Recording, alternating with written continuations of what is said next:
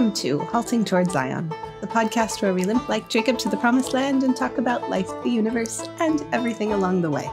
I'm Emily Maxon, here with Greg Uttinger. Uh, Brian Broom is not able to join us this time, but hopefully next time. Uh, we've been talking about Elijah and his contest with the prophets of Baal and his uh, relationship to King Ahab and Queen Jezebel and their servant Obadiah. When we left off last time, we had just seen the Lord show up Baal in a magnificent way, fire from heaven, very dramatic, um, in response to a simple prayer where Elijah is simply telling God who he is and what he's promised, uh, restating the covenant that's been established already, not vain repetitions, the way the servants of Baal prayed, if you can call it prayer, but simply talking to God. And everything's hunky dory now, right? Like all the the prophets of Baal convert and Israel returns to the Lord and actually the prophets were executed. Uh, okay, so all the bad prophets have been executed. Yeah. Everybody else returns to the Lord, right? they say they do. Yeah, absolutely. Yeah, we're, we're on oh. board. Yeah, yeah. So then Elijah begins a really prosperous state-sponsored ministry, right? Yeah, because yeah, the state should do that. Um, well, actually, in Israel, the state should have done that. It sounds good. I mean, Jezebel, obviously faced with superior firepower, would uh, realize she had a puny god and would convert. And Ahab, seeing all the people yell, "The Lord is God," he would convert. The people have obviously converted because they're all saying, they've all walked down the aisle, they've all raised their hand. The Lord, He is God. Yeah, what more do you need? And Elijah ran in the power of the Spirit before Ahab's chariot all the way back to Jezreel, where the summer palace was sounds really great. And it may have been greater than we sometimes give it credit for, but Elijah is coming down from a mountaintop experience. And if there's a simple rule in Christianity, it's after the mountain is the valley. Mm-hmm. Uh, after Eli- every new creation, there's a new fall. yes, until the end. And so Elijah arrives in town. Jezebel hears about all this. She is unimpressed. And she sends a message that amounts to the gods do so to me and more also if I don't make you like one of these prophets on morrow. In other words, you are so dead. The ED dead. And that's enough to break the bubble rather than saying, well, she's just, you know, sour grapes and she has no leverage and the people are with me. Elijah concludes, well, it's all lost. It's all a failure. Nothing worked this whole covenant arrangement that God set up at Sinai has absolutely failed because, hey, I was there and I did my part and God seemingly did his, and the people are just beyond help. So it's time to tear up this contract. And so, partially in fear, largely in depression, he runs. He runs all the way through Israel, the northern kingdom, all the way through Judah, the southern kingdom, where he theoretically would have been safe drops off a servant there at the at uh, Beersheba at the bottom of the kingdom, and then goes out into the Arabian wilderness and sets out toward Mount Sinai, toward Mount Horeb, and um, falls under a juniper tree and asks God to kill him. So we've gone from the heights of elation and spiritual excitement to utter depression, uh, feelings of complete failure, God is not in this. God's the, the, the gospel just failed, and um, why am I even in this ministry anyhow? Let's just let's God just end it. Take me home. I'm done. Uh, this is the point where a lot of us good Calvinists would sit down and pull out Romans eight twenty eight, and you know all things work together for good. Remember the sovereignty of God. Yes, he did need to understand that, but he needed more perspective and honestly, he needed a nap and some food. And so, you know, ain't that the truth? sometimes you don't need to sit down with your someone whose life has collapsed and start lecturing them theology. Sometimes you need to give them a hug, put them, give them something to eat, and put them to bed. And God does this twice for Elijah. And the food is supernatural. And in that, the energy of that food, he goes 40 days and 40 nights into the wilderness until he comes to Sinai, the mountain of God. In fact, comes to the very cave, because the article is the cave, uh, where Moses had once stood and seen the glory of God. He'd asked to see to see all of God's glory. I said, eh, yeah, no, that's not happening. But I'll show you my backside. I'll show you a little bit of my glory. You go in this cave. I'll put my hand on you and cover you up until I'm past, and you can you can see something. And I'll proclaim the name of the Lord. The, the, majority of the manifestation was God simply proclaiming His name in some detail. So that's where Elijah has come, and it's significant that it's Sinai because he could have gone, he could stop, he could have gone to the temple and talked to God. He's going all the way back deliberately. He's walking back through Israel's past to where it started, not all the way back to of the Chaldees, but all the way back to this covenant arrangement, this administration under Moses. And he's come there to tell God, it didn't work. Uh, as your covenant lawyer, I'm tearing up the contract and um, just forget it. And along the way, he has devised a speech. This is clear because he twice says it in exactly the same words. So he's been thinking about this. And it goes like this God says, What are you doing here, Elijah? He said, I have been very jealous for the Lord God of hosts. For the children of Israel have forsaken thy covenant, point one, thrown down thine altars, point two, the way we approach God, slain thy prophets with the sword. Point three, they've rejected the word of God.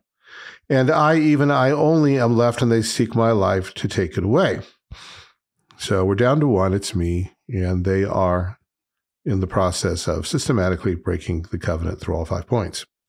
Rather than argue or lecture him, God says, go, go, go, go stand out on the mountain.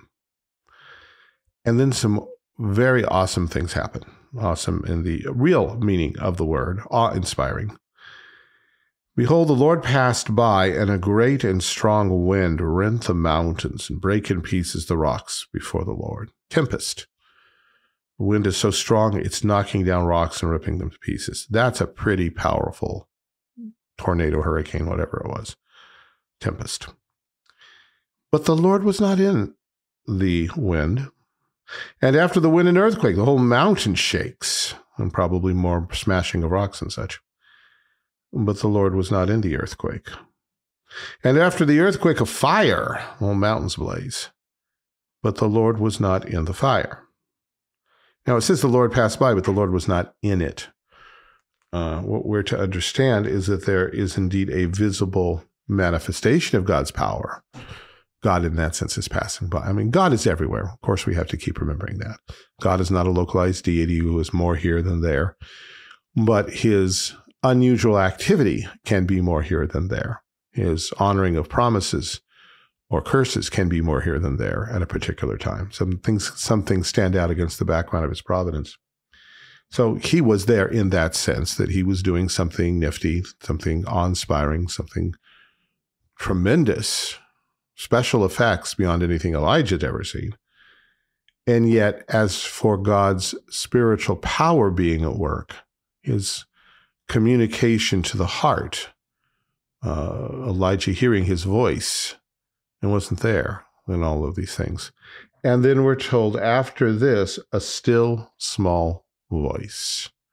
Not a thunderous voice, as when God spoke from Sinai the first time, not a voice that could reach two million people, as uh, some kind of cosmic sound system, but a still quiet voice that probably only Elijah would have been able to hear had anyone else been around. Very quiet. And yet his reaction is very different. We're not told exactly what he did in response to the others, probably huddled in fear and stared around with wide eyes. That's what most of us would do. But we're told, and it was so when Elijah heard it, that he wrapped his face in the mantle and went out and stood in the entering of the cave. He stands in awe before God. That voice, whatever it said to him at that point, touched his heart, showed him the fear of God, registered on a spiritual level. And God simply says, What are you doing here, Elijah? Yet again. And Elijah answers with the same words I've been very jealous for the Lord God of hosts, because the children of Israel have forsaken thy covenant, thrown down thine altars, and slain thy prophets with the sword. And I, even I, only am left, and they seek to take my life, my life away. And the Lord said to him, Go thy way, Go return on thy way to the wilderness of Damascus. And he gives him three chores we'll talk about in a bit. God is not interested in hearing his complaints, his rehearsed speech, and Elijah still has not had time to process it. So here's something else to talk about when we or our friends fall into great depression, despair, worry, or fear. Sometimes you just have to let what you said sit there for a while. And that's frustrating because you've explained it clearly. You've pointed out the theological truth. You've told them how they need to respond and what they need to do. It's crystal clear to you. And they're sitting there kind of like an Eeyore. I don't know. I'm not sure. And, you, know, you want to slap them. But that's not what God does. He just says, okay, you're still saying the same thing. I'm, I'm, I'm done. Here, you got work to do. Here's the job description. Go, go do it. And he doesn't try to reason anymore with Elijah. He lets his spirit and time do their work in his heart. Now, we need to look at what is going on here in terms of these special phenomena. First of all, the obvious application is that Elijah had called fire down from heaven and it came. Well, he's seen fire here and more. And when he saw the fire fall and he saw all the people respond, his first thought would be, well, that's it. We, this is a miracle and it's convinced everybody and they've all believed. They've all repented. They said they have. But what he saw in Sinai is God's not in the fire. Or in our language, God's not in the special effects. Mm-hmm. Uh, was it from God? Most certainly. Was it miraculous? Most certainly. Was it a divine message? Most certainly. Did people get excited? Absolutely. Did it change their hearts? Well, in the long run, we see no, or at least not much. Maybe some people were moved, but it would be by the message, not by the mere fact that they saw something extraordinary. And this is what Elijah needs to come to terms with that it is not external phenomena or argument or reasonings or laws or rules or rituals or special effects that changes the human heart. Man has fallen in sin. He's dead in trespasses and sin. His heart is deceitful above all things and desperately wicked. Every imagination of thought of his heart is only evil continually. There, despite the fact he's made in the image of God, that image is so corrupted that if you throw the natural man a piece of truth, he will corrupt it, pervert it, twist it, rewrite it, redesign it. He will turn God's greatest revelations into idolatry. Kind of like the bronze serpent. Like the bronze serpent. Yeah. Here is an image of Christ, and they end up offering incense to it. Or the rich man in hell. I mean, how much more evidence do you need that God is real, exists, and is and hates sin than being in hell? right. but really, what, he needs to come into my classroom and speak to me right now yeah. in order for me to believe in him. Yeah, yeah, yeah where's your God? I need, you know, there's the, that old story of the professor who stands before the class and says, I have this, this glass here and I'm going to drop it. If any of you really believe in God, pray that it won't break. Anybody, any takers, any takers, any takers? Ha, see, you don't believe your God can intervene. In that story, one young man does stand up in the back and says, I, I believe that. I'm going to ask God right now to make it not break. Like, it's a short fall. It's going to break. Well, in this case, that's so the story goes at least. The professor drops the cup, it catches on his robe and tumbles hopelessly to the floor without breaking in the hole. Class starts singing Amazing Grace. I wouldn't. I'll God take does, things that didn't actually happen for 1,000 Alex. and even if it did, so even what? it did. It doesn't mean the professor was convinced. He'd blow it off. And then the class would too. The class would, after it say, wasn't that a neat thing that happened? Wow, how how how wonderful a little little blip in the universe that I got to see. That was it would not change anything. God does have a sense of humor, and sometimes He does do things like that just to yeah show up our our ignorance. There's another story that ends a little differently, um, uh, set in the West. A preacher's preaching, and some guy in the crowd begins heckling and says, "Well, where's your God?" Uh, bring your God down. I'll take him on right now. And the preacher says, You know what? When I drove into town, there was this little kid in the way in front of my wagon. And he started lifting his fist and saying, Mister, want to fight? Mister, want to fight? Come down and fight me. You know what? I didn't fight him. I drove on. God is not obligated to prove anything. And here's the thing if God were to merely limit himself to externals, even God couldn't prove anything because he's done everything. The rich man in hell is surrounded by proof. What else can you do but send someone to hell? And yet their heart is not changed. We're told elsewhere that, elsewhere that in hell there is weeping and gnashing of teeth. Weeping we get, that's pain, suffering. Gnashing of teeth is anger. They are still mm-hmm. angry at God for daring to presume to do this to them. They have not humbled themselves before God. They do not recognize God for who he is. That there's someone, something out there that's done this to them, they probably have a sense of.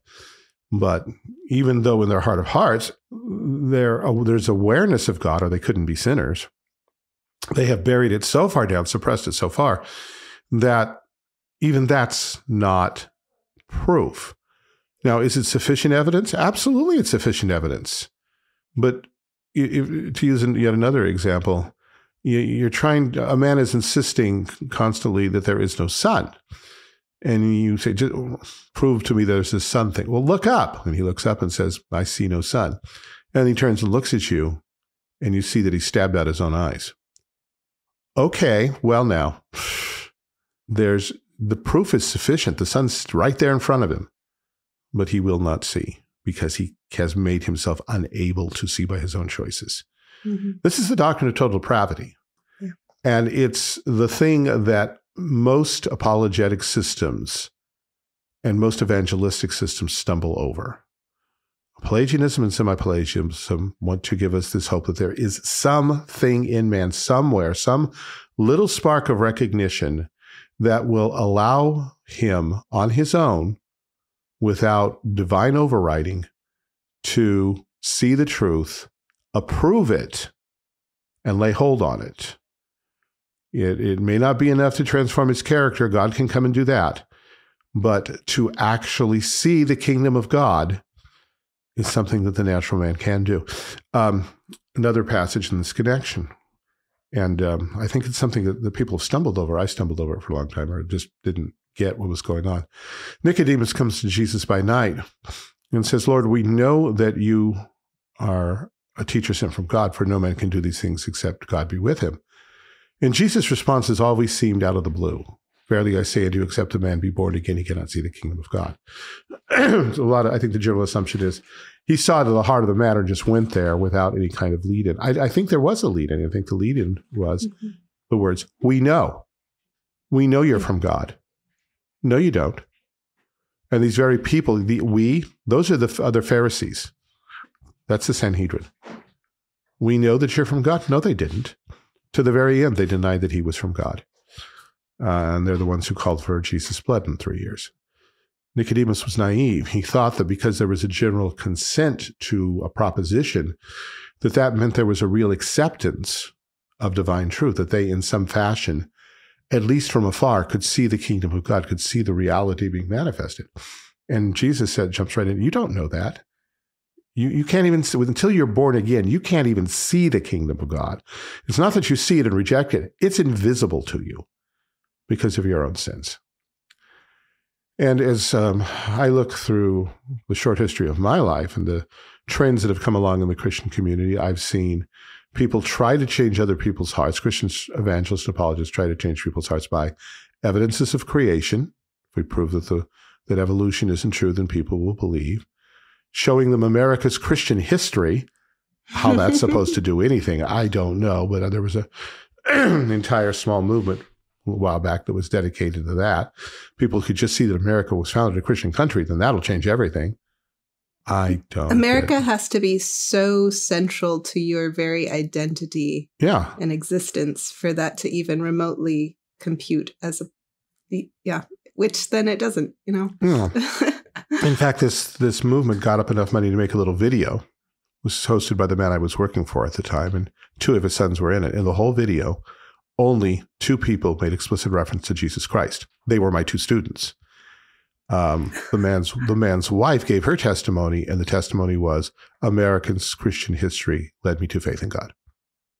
Uh, that was it was it was it was it was a good video that any Mormon any Mormon could have made and probably done better. and somehow they thought that was going to fix things. Yeah. Mormons can have really good funding for that sort of thing They too. they do. They're they're good at that. And and then you can look at the whole pro life thing. If we just prove the baby's biologically alive, then everyone will stop this. Well, no, they won't, because that's never been the issue. The issue is the baby's inconvenient. Mhm. Now the pictures, if we use scary pictures, well, people who react have got reactions to strong emotional stimuli. That will that will put them off for a little while until we get used and it, to it. educates people on what abortion actually is, yeah, which is often covered up. Yeah. But in in the in the end, we simply get desensitized all over again and Right. we we we don't care. Because you can prove the baby is alive and biologically human and still people will say but sociologically it's not human. Uh, it does it does not, it not society has not yet granted it the rights to exist. Its existence is not as important as the happiness of the mother. So this does not change anything here. You're still putting your religious interpretations on it, and all you've proved is something we, you know, retrospectively, we always say, oh, yeah, we knew that all the time. Once you get to past, past the fact where it's no longer an effective argument, you can freely admit, yeah, you were right. You've been telling us that. We know that, but it doesn't matter. Never did, really. Because they become more epistemologically self aware. They realize what the real issue is. You can do that apologetics, that kind of evidential apologetics can drive you to the point where you say, yeah, that's, that's, that's really good. Um, yeah. So yeah, the baby is human. I still want it dead. And then where do you go? Yeah. Evolution doesn't make any sense. So probably it was alien intervention. Uh, it, the, the, uh, Jesus, um, really rose from the dead. Well, you know, that's weird. There are UFOs and Bigfoot and Atlantis, all kinds of weird things. The What do evidence, they? What difference do they make for my life? yeah. They don't. They don't convict me of sin. They don't teach me the fear of God. Um, the other thing that we should throw in are commandments and rules. Do this and live. And every generation comes up with a set of rules. They tend, they tend in, in the West, probably the East as well, to be somewhat Gnostic. Don't touch, don't taste, don't handle. And uh, uh, eventually we say, if, if, if you will submit to these rules, you will grow in faith. Our faith will come to you. No, that that won't do it. This, this is Christians' parents with regard to their covenant children are really bad with this. Once upon a time, I, uh, um, as an elder, I had to. Um, how do I say this gently? I had to uh, announce to the leaders of households that a certain young woman was expecting, and she wasn't married and she was repentant. So that was, you know, it was it was a good thing. It was, and everybody embraced her, and that was that was all wonderful. But I talked to the father afterwards, or he talked to me, and he said, you know, but you send them to church and to Sunday school and the catechism class and homeschool and Christian school, and then this happens. And my first thought was, well, I can now explain to you exactly why this happened. You were trusting mm-hmm. externals. You were trusting the rules and the procedures. Those don't change the heart. Interestingly enough, several years later, in a very different context, the same man said, "You know, I, one day I gathered my kids around me. They were still all, you know, fairly young, pre high school, and said, "Okay, kids, just just just checking on you. Uh, what does it mean to be a Christian? How are you a Christian? Well, you go to you go to catechism class and you memorize the catechism, and you no, no, what? A, we can be guilty of that, and Reformed Christians can be among the worst at that."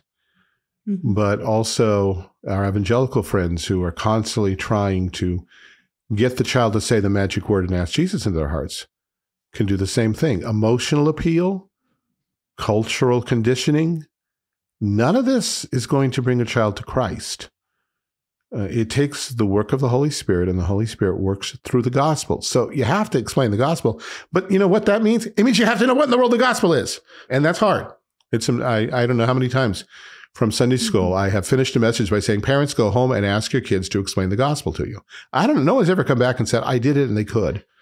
But neither has anyone ever come back, I did it. And wow, ah, they were so off. But we've done it in our classrooms at school. And um, we, we've, we've gotten a high percentage, you know, 60, 70, maybe 80% who can. But there's a large, and these are kids who grew up in the churches, a large percentage of kids can't. And sometimes this is even after we've just got done explaining it. I did that this year. Spent a long time explaining it, detail. And they got some of the details, but they missed the overall message. And some of them didn't even get the details. They were just so mentally, spiritually checked out, it did not register. That's the stony or the um, packed soil hearers of Jesus' parable. And we, the temptation is, well, there's got to be a way around that. Yeah, it's God's. yeah, that doesn't we, mean there's anything more to do than keep on preaching yeah. the actual gospel. Keep on preaching, keep on praying, and waiting. it may be next week or next month or next year. It may be next decade. It may be on his deathbed that your mm-hmm. child comes to faith. Uh, that's in God's hands. Yeah. I mean, I can tell you in my in my own life, like there's no way I did not hear the gospel until sixth grade, but yeah. it definitely did not like click until sixth grade. like yeah. you just never know when it's gonna when the Lord is gonna do something that's really obvious and definitive. All along, he's doing something that might not be obvious and definitive. Yeah, now you mentioned that my in my own life, I remember as a small child wandering around our large back uh, field area with my little friend down the street and singing for God so loved the world and reciting John 3:16 over and over again. She never came to Christ. And at that point, I don't think I was a Christian. Maybe I was. I, I knew what the words said, and I knew they were true words, but it had never, I had never been confronted to repent of my sins and put my trust in Jesus. So, and I don't know that that was anyone's fault particularly, except my own. And, and so that that's what Moses has to learn. I mean, I'm sorry, it's what Elijah has to learn. That the externals are not going to change the heart. They're not going to produce revival. Yes, God may at the same time beneath the surface be working in people's hearts through the preached message, which the miracles have punctuated. Um, there are times where we do see in the New Testament where, for instance, the resurrection of Lazarus, where some believe, but many don't. It's obviously not the miracle nor is it anything in them. It's just that God uses Jesus' words and Jesus' actions, his self revelation, to change their hearts. Mm-hmm. And so, I think it's mean- significant that you know the call to believe from the apostles is believe on the Lord Jesus Christ. It's mm-hmm. not believe that God actually raised Lazarus. It's not believe that right. God caused this miracle. It's believe Him, not believe that. Um, these three phenomena wind, earthquake, fire these were the same phenomena that attended God's descent on Mount Sinai. That of the loud voice, as opposed to now the still small voice. So, uh, Moses, uh, I keep calling him Moses, Elijah is here. And there is such a direct connection here between Moses and Elijah. Moses initiated the covenant as, as the mediator of the old covenant. Now Elijah's come to tear it up and say it didn't work but he sees the same phenomena, and, and I think we said last time. And, and yeah, while the first, when the mountain was shaking and on fire and there was a tempest, the people fled. But after 40 days or so, they got used to it. They they got conditioned to it, um, inured, and they built a golden calf and had an orgy around the bottom of the mountain while the mountain was aflame and shaking and black, and God God was up there. That should be scary. Mm-hmm. Uh, the and and Elijah is seeing the same phenomena and understanding now, maybe for the first time, that what he should have read in the text. It, sure, God put in a miraculous appearance, very impressive, and it changed no one's heart. So why would you think it would now? Things haven't changed. Uh, Messiah's in the future. God is gracious, and He's not done, and that's where we're we're, we're going with this. But in in the meantime, it's this, these things do not change heart. Special effects, dropping ice cream sandwiches from the roof of the church, saw that. you know, fire and smoke machines, and pastor riding his uh, his Yamaha up onto stage to preach from it. You know, all of these. My my very first pastor called them apes and peacocks. Uh, all the entertainment in the world, all the shock value, all the miracles are not going to change human hearts. And when we think they are, we're walking down a Pelagian road that is effectively paganism. We're back to the we can do something to grab the power of God, and it is within our ability to do so. We just have to convince people to do it. The entire public school system is based on this. If we change the environment, we can change the heart, we can create a new world order. And a lot of what we're seeing in our culture around us is exactly the same thing. Now we've moved from not only educating, but biologically conditioning people. Mm-hmm. If we can just get the environment under control on all levels, then we'll have this wonderful, perfect society. And God, throughout the whole Old Testament, saying, No, you won't. I created an ideal society, at least in theory. It had all the rules, all the rights, all the rituals, all the outward revelation. I was in their midst, and it did not work. So, what do you think you're going to do that's going to step that up? Yeah. There's even like, this is a much more mundane example, but thinking about communication in the classroom as a teacher. If you say mm-hmm. something loud for everyone to hear once, if you say it a second time, it will not register. If you yeah. say it loudly a second time, you've just given away all of your communicative power. um, what does work is if you say it loudly once and then someone says, Hey, I don't get this. Can you come explain it to me? And then you go and explain it to them quietly one on one. Like that's yeah. what works. and yeah. it seems like that's kind of what the Lord is doing here with Elijah. Yeah, he the, the loud the loud voice by itself didn't communicate, but intimate communion does when God initiates. Next time, then, I guess we will talk about the job that God gives Elijah. Because this is the point where we would say, okay, got the message. Now can we go have the revival? And God's word to Elijah is going to be no, quite the opposite. And although God has stressed here his sovereignty and his ability to overwhelm outwardly and even to communicate to the hearts with incredible spiritual power, that doesn't mean he's going to give us what we want. We we have our plans for. When I was younger, that was common to uh, have campaigns to reach every soul by the end of the century, or to win America back in two years, or you know those kind of things. Um, and then every now and then you go by some some church building that would say revival begins here on next Tuesday. Really, you think you can compel God's plan. Well, God wants to save everybody. One, that's not exactly correct. But even if it were, He's going to do it in a way that glorifies Him most and that builds up His people most and sanctifies them most. And sometimes, well, to put it very bluntly, go talk to the Christians in China, talk to those who escaped from the former Soviet Union. See if everything was nice and sweet and dandy for them during the years of persecution. The it cannot happen here mentality it's extremely dangerous and shallow. And so, although God very clearly asserts his sovereignty here and his ability to do what he wants, that doesn't guarantee that what he wants is what's going to make us really happy and comfortable. And so that will be our conversation next time, I think. Great. Well, I look forward to that. Uh, shall we wrap up with some recommendations? Yep. you got one? Sure. Yeah. um, I will recommend the movie Tortured for Christ. Oh, yes. Um, seems relevant to this conversation. Um, it's the story of Richard Wurmbrand. Of course, in Romanian, I'm sure that's pronounced very differently. Mm. Richard Wurmbrand or something. Mm. Um, but he, of course, wrote the book um, Tortured for Christ, his story of what he endured under uh, Russian oppression in Romania. Did I say in 1967? It's mm. important that it was in 1967.